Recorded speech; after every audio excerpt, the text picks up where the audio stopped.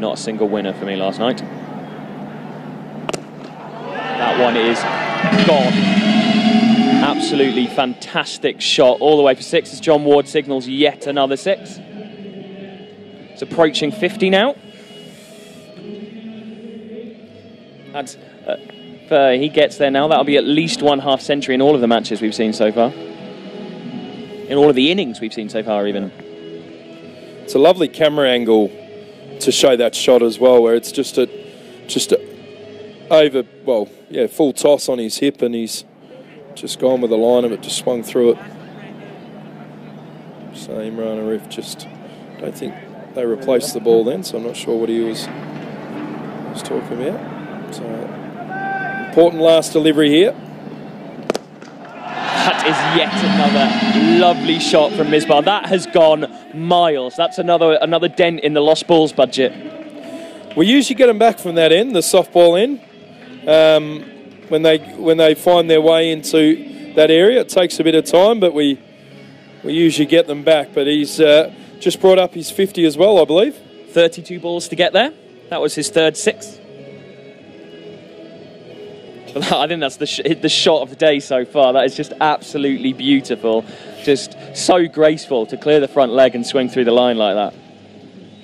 Oh, and that is a lovely, lovely shot. That one's slightly shorter and pulled around the corner for six. As I was saying, if Ajmal connects, it tends to go. Not necessarily a bit. A shot I'm going to say is technique slightly homespun is the word description I'm going to use for it. But he certainly has the ability to time a cricket ball, as we just saw there. Geez, he's hit that one well. He's certainly found the middle of his bat. Malady's last few overs. Actually, Caddy a bit, a bit frustrated here. He's got to keep his keep his cool here for the last four deliveries. In again over the wicket, short again. That's hit down, and that's gone for six again. Down at fine leg. And the public down in that area enjoying that. Misbah is firing.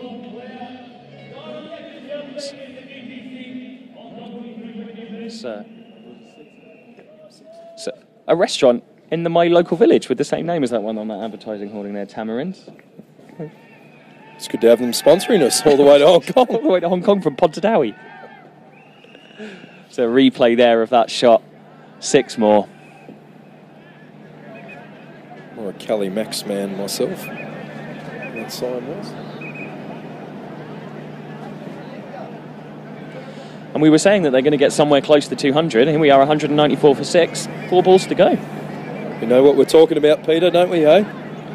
There are times. Actually, Caddy will hope that uh, there we 200 for six now. Scoreboard's updated. And that one's gone again. Another shot from Misbah and six more. That is absolutely fantastic shot there. Takes him to 72 from 35 balls. The hitting that we've seen from these world-class players here. I think I was attributing some of those sixes to Ajmal earlier. Yep. But I'm just a little bit excited about, about the prospect of seeing Ajmal bat, but it is Misbah that's launching these balls out of the ground. Yeah, Caddy, he's got, got to think of a plan here. I'd, I'd think about even trying to go, get those wide Yorkers in or try and use the offside somehow. Three sixes on the bounce now. So you were saying how Caddy was picking up wickets, but uh, and that one's gone again. That's four in four. That is absolutely fantastic. Did the balls come back from there, or is that one gone? I'm not actually sure whether is that gone over the grandstand. Yeah, Yeah, that might be on Tin Kwong Road. I reckon that may have ended up at uh, KG5 School. So looks like the reserve umpire Ian Thompson is retrieving that. It's a beautiful shot there from Misbah and uh, KG5 School have uh, got an extra ball.